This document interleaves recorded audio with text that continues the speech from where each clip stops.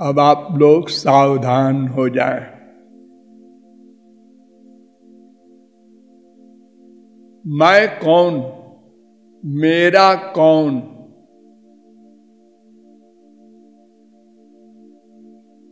इन दोनों प्रश्नों का समाधान किया जा रहा है। कोई पूछ सकता है क्यों?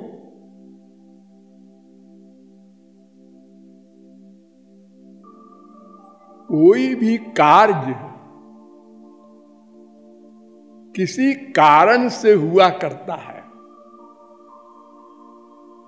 कारणेन बिना कार्यम न कदाचन विद्यते, वेद कह रहा है।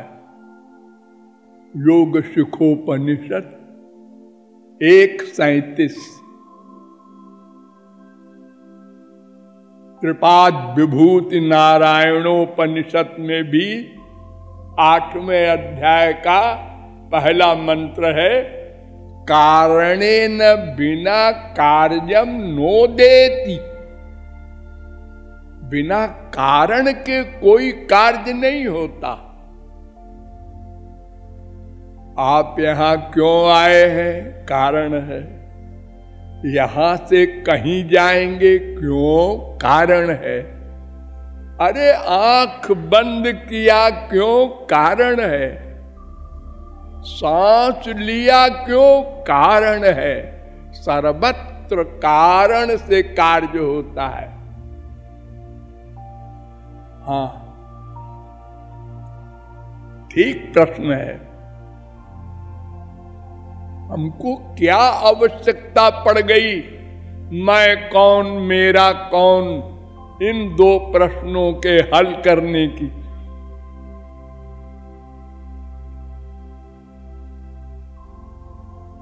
हाँ इसका दो उत्तर है। हमारे यहाँ के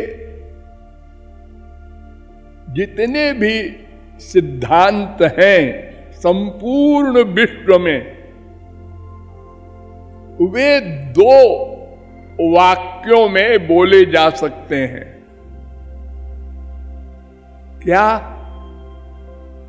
वास्तविक दुख निवृत्ति के लिए अथवा वास्तविक सुख प्राप्ति के लिए? हम सब दुखी हैं।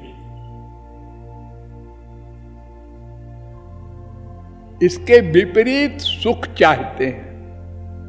हम सब अशांत हैं। इसके विपरीत शांति चाहते हैं। हम सब मरणशील हैं। इसके अतिरिक्त अमरत्व चाहते हैं। हम सब अल्पज्ञ हैं। इसके अतिरिक्त पूर्ण ज्ञानी बनना चाहते हैं। अर्थात हम सर्वथा अपूर्ण हैं, पूर्ण बनना चाहते हैं। प्रत्येक सब्जेक्ट में। इसलिए इन दोनों प्रश्नों को हल करना आवश्यक है। तदर्थ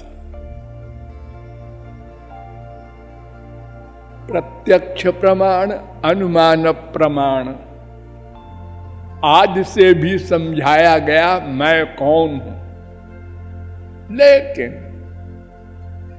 ये मैं नाम का तत्व ऐसा तत्व है, जो प्रत्यक्ष या अनुमान प्रमाण से बोधगम्य नहीं कराया जा सकता।